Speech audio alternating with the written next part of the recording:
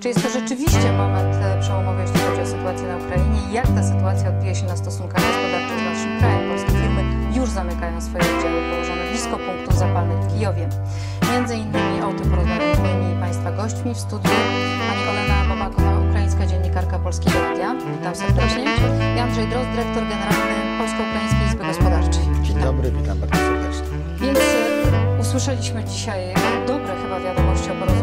Które to porozumienie przewiduje przywrócenie konstytucji? Już jest ustawa w, w trybie bardzo szybkim uchwalona powołanie rządu koalicyjnego. Nawet uwolnienie Timoszenko już zostało przegłosowane przez parlament. Teraz tylko wypowie się sąd. Czy niech Pani powie z punktu Pani widzenia, czy to porozumienie jest realne? Tego porozumienia. My będziemy walczyć do końca, aż Janukowicz odejdzie.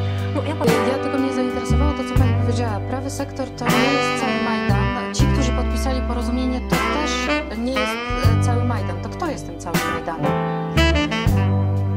już chyba no, wywalczono już uwolnienie Julii Tymoszenko, tak? No to zdaje się, że to będzie fakt. Majdan tego też się domaga. Patrzymy oczywiście,